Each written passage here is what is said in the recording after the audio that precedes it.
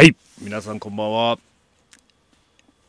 孤独の貧乏グルメリベンジシリーズです、えー先日すき焼き、えー、1人当たり400円未満ですき焼きをやったということでですね。まあ割り下に片栗粉を入れてしまったと。白滝を入れ忘れたと。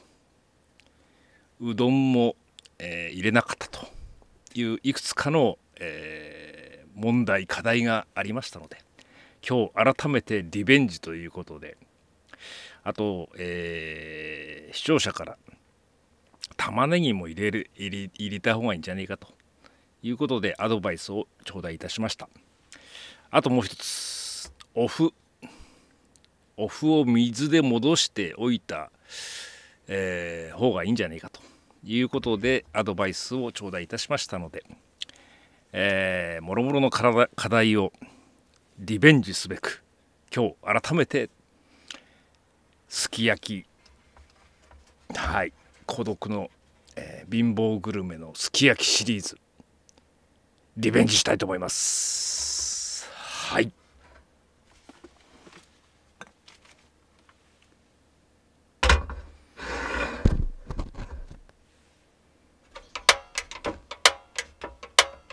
あら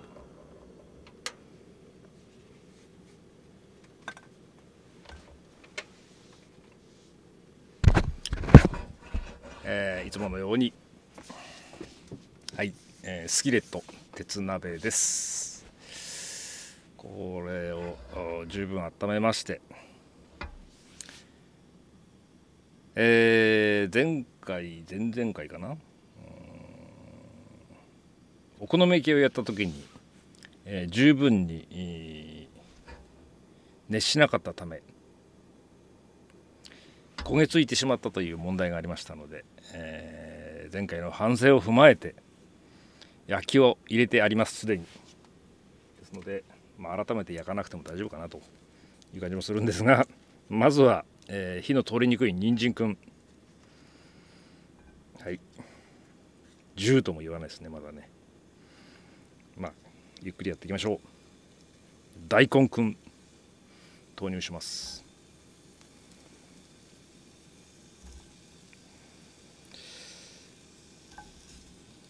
でチャットで教えていただいたんですがえっ、と糸こんにゃくとこんにゃくと牛肉が近いとダメだというお話を頂戴しました。あ。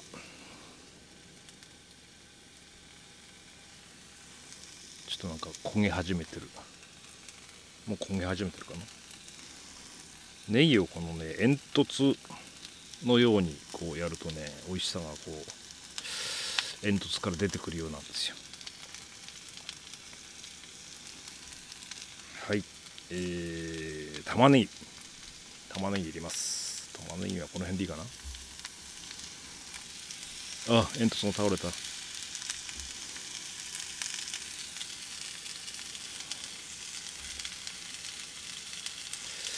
豆腐はこの辺かな。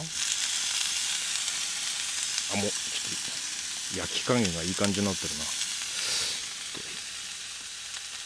ょっと弱火にしよう。えー、糸こんはこの辺かな？はい。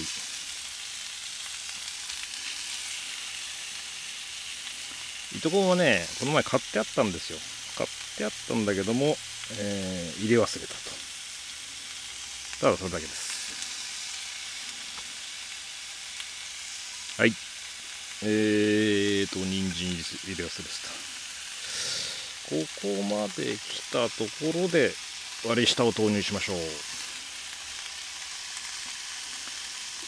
割り下はまあ反省の通りですね。前回の反省の通り。えー一切片栗粉は入れてません。塊要素はありません。はい投入します。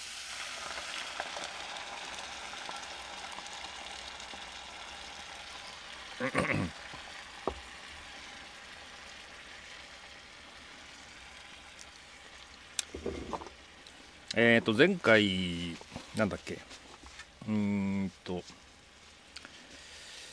しいたけの生を買い忘れたので、えー、干し椎茸を戻して入れたんですが今回はちょっと干し椎茸の戻しが間に合わなかったのでえー、椎茸干し椎茸の粉を割り下に投入しております。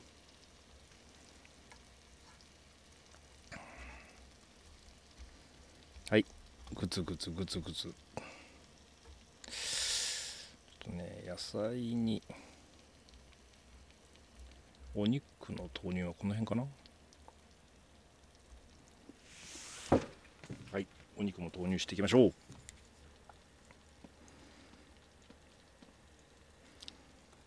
このね約500円の肉を4回に分けて使いますのではい。1食あたり125円というお肉の原材料コストになります。まあその他の食材についてはそうですね。4分の1全部4分の1にするとやっぱり1食あたり合計でもせいぜい200円ちょっとじゃないかなと、うん、いうことで非常にコストパフォーマンスのいい孤独のすき焼きでございます。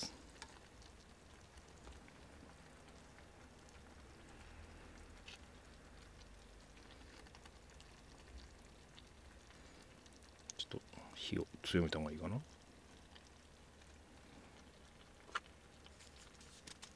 青いネギをチラチラチラと。彩りよく。チラチラチラと。まあ後でうどんの時にも使いますんでちょっとお肉もネギもちょこっと残しておきましょう。うどんの時にはねちょっと肉を細かくしておきたいんで。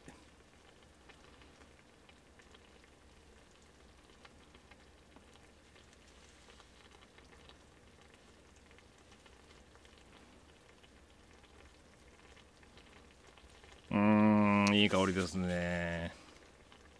ちょっと全く換気をしてないんですあお麩を入れ忘れてました。お麩。はい。水で戻したお麩をですね投入します。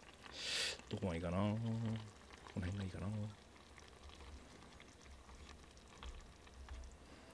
えー、水で十分戻しておきましたのでお麩がふわふわの柔らかい状態になっておりますいいね。すき焼きらしくなってきたよ。これがね、まあ、とても孤独の貧乏グルメには見えない見えないということであります。はい。そろそろ溶き卵をいっちゃおうかな。溶き卵を作っておこう。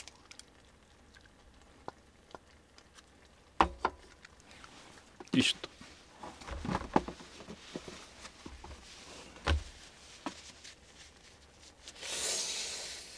よいしょと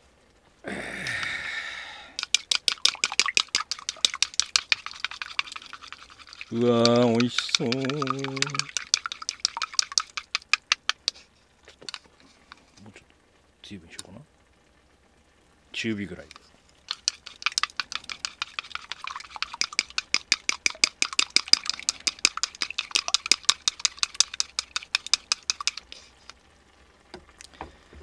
いいですね。いやわずか200円ぐらいでこんな贅沢ができるなんて。日本人に生まれてよかった。やっぱね日本人は世界一幸せですよ。うん。たった200円ですよ。たった200円でこんなね美味しいものが食べられるなんて。贅沢。贅沢すぎます。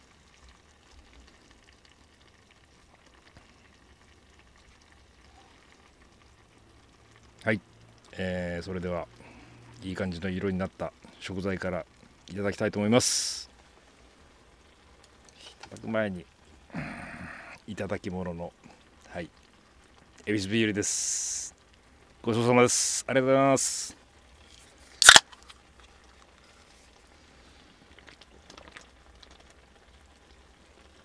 あーうまい高級ビールに安いすき焼きいますいきますよ。お肉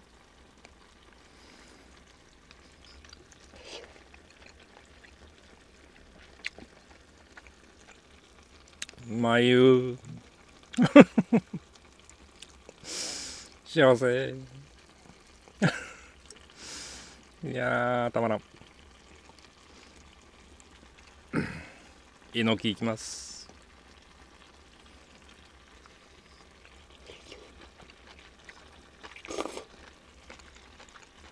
うん。う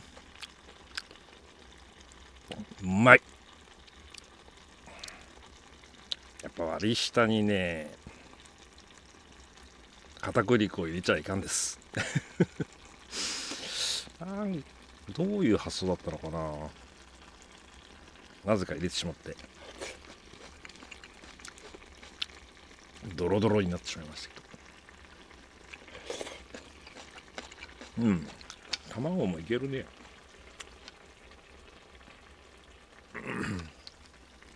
卵卵じゃねえや。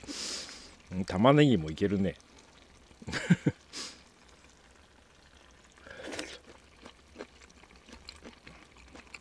大根まだもうちょっとだね、うん、お麩はもうちょっと吸ってくれたから。あこれいけるな。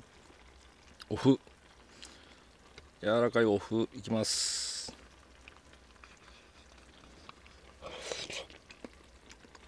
うん。あこれはうまいわ。ふわふわです。豆腐もいけるかな？豆腐もうちょっと浸しておこう。倒していきます。うん。やっぱ肉でしょう。このね安いアメリカ産の。肩ロースだったかな？100g あたり120円か130円ぐらいですよ。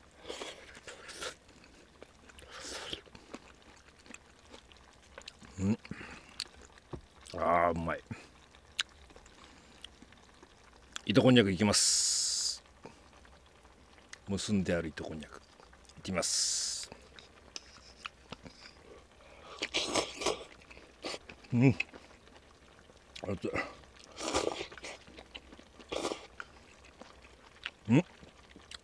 これはうまい。うーん。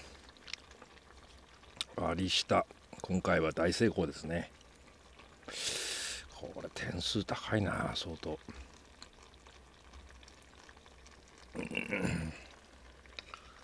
玉ねぎうん。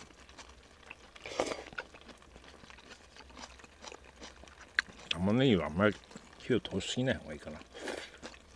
うんうまい。あ幸せを感じますな。皆さん日本人に生まれてよかったですね。人参まだ硬い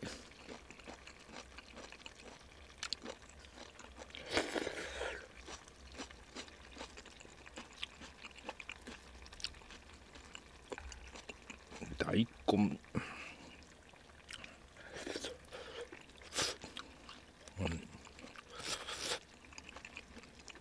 焼き豆腐いきます、はい、うん。あー美味しい。うん。いやいいですね。この幸せが200円ぐらいでね達成できるっていうのは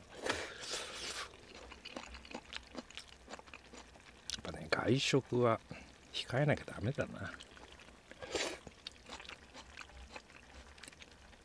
今牛丼食べても並盛りで380円とかですよ、まあ、一時期ね牛丼が200円とかねなんかそういうディスカウントの競争があってもう牛丼屋さん大変でしたけども。ね安いミニ牛丼でも290円だかな。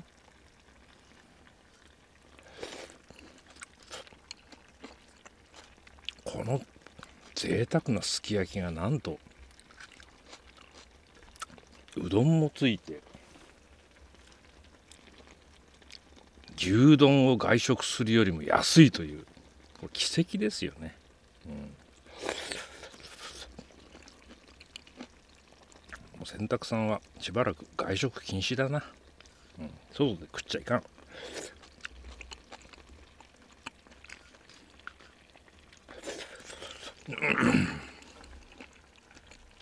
いやオフがいい感じですよ。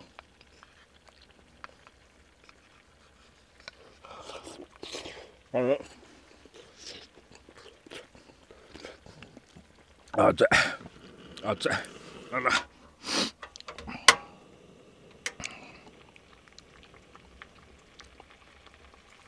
熱いとか言ったら。片栗粉入れなくてもなんかトロトロになるね、うん、ネギもそろそろいけそうなんだけども。ちょっと早めに。うどんを投入しておきます。じゃん。ネギは後だな。肉肉も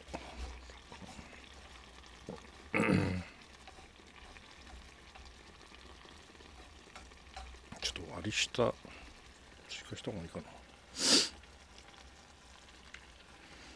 で、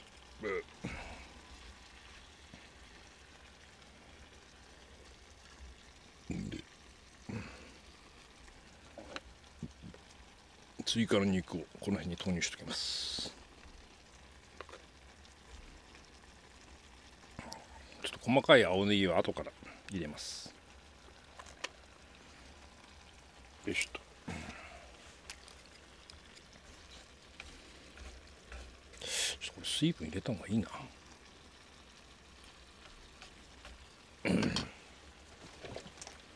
これあの焼酎じゃないです。普通の水です。はい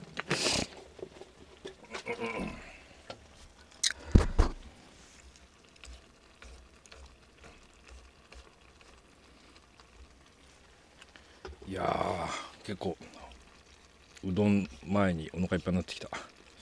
最近小食なんだよね。運動しないから小食です。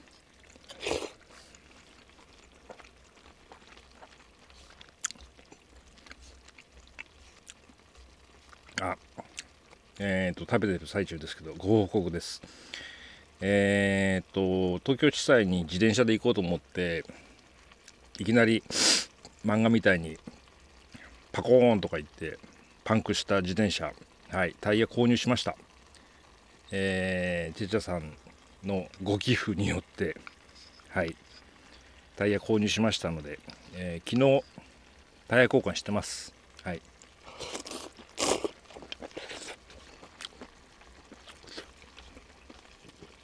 まあ、タイヤ交換する動画を載せろというご意見もあったんですがあんまりちょっと絵的には面白くないかなと思ったんでタイヤ交換の絵は撮り撮りませんでした。ちょっと弱火にしよう。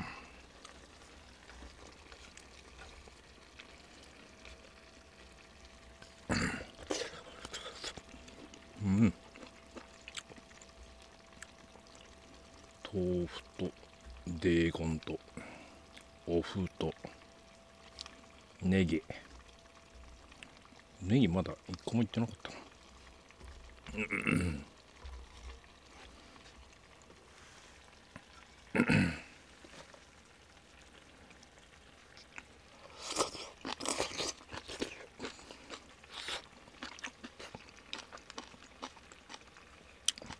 ネギがうまい。麺がうまいよやっぱねまあ外国のことはよくわかんないけどもあの食文化はやっぱり日本が世界一ですよね。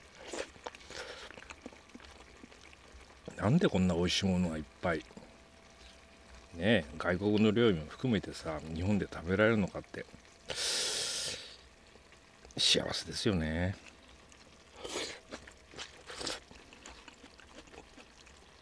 まあ他の国では毎日同じようなものを食って。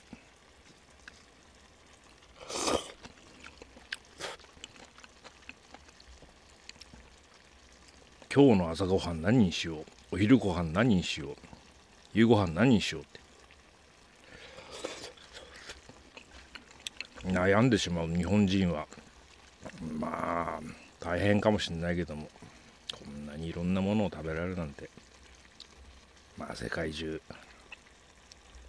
しかないでしょうね。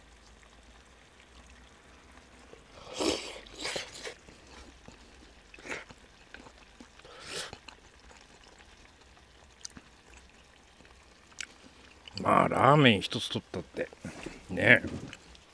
まあもともとは中華料理かもしんないけども、まあ、ラーメンは日本料理でしょう。日本で異常なぐらいに何百種類というラーメンがあってお店の数も何万店という数があるラーメン。もう世界の奇跡ですよ。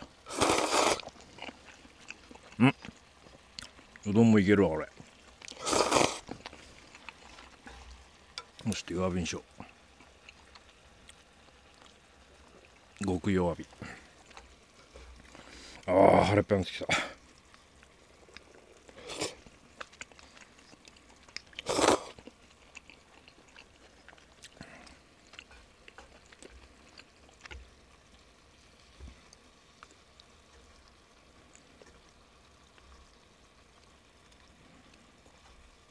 うどんがうまいわ俺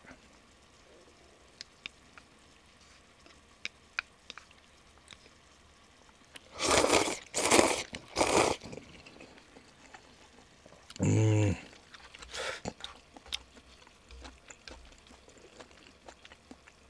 人参もそろそろ柔らかいかな。ああおいしい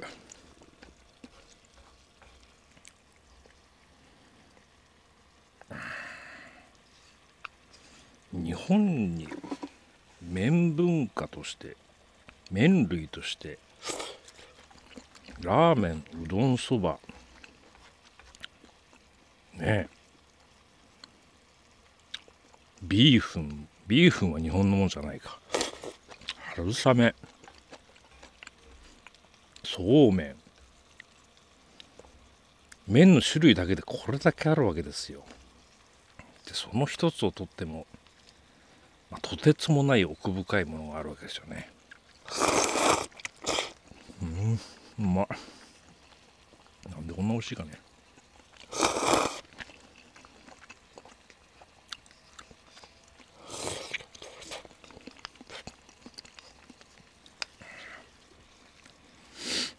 まあねオリンピック・パラリンピックもあるわけですけども外国人が日本に来たがる理由もなんかわかる気がしますよね。これだけ美味しいものがいっぱいあって。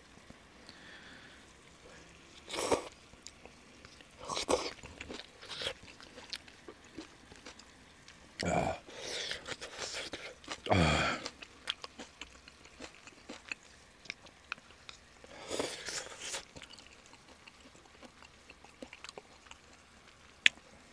あはい。青ネギ入れるのそうです青ネギパンパンパン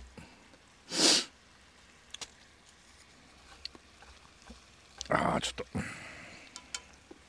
水分が減ってきた水分ちょっと投入。